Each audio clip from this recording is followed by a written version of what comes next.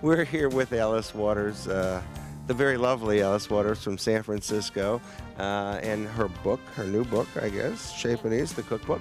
And you have been active um, in this type of event in San Francisco, correct?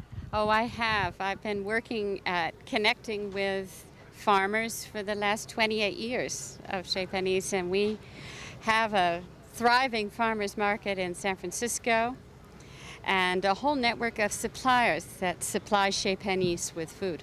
Let's just for a moment, for those of us in Chicago that don't know Chez Panisse, why don't you describe it and what it's about? Because it's a little, it, it, I couldn't just call it a restaurant. It's a, it's an institution now. Well, I guess when you get to be 28 years old, you have a certain credibility.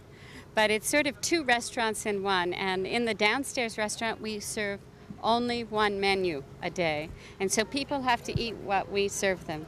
And we serve seasonally fresh food that's gathered from local suppliers that are practicing sustainable agriculture. And so they're the people that are sort of taking care of the land for the future, and it's very important to buy from those people.